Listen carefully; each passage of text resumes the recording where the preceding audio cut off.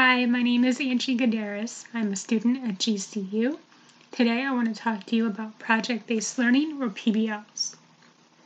PBLs are a method in which the child actively learns in the real world and in their classroom based on projects that they may inquire.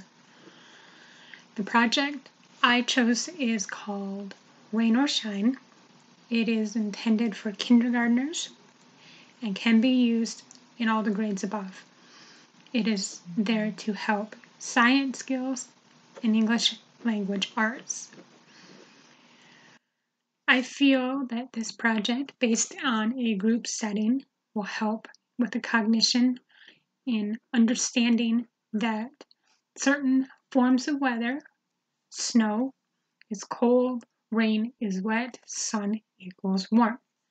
They will then be able to identify what months or what seasons they may be currently in.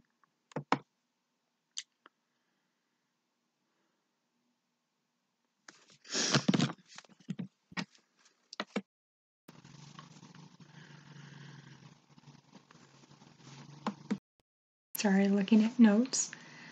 They will then be able to have group social skills, be able to understand terminology of rain, sun, warm, cold, snow.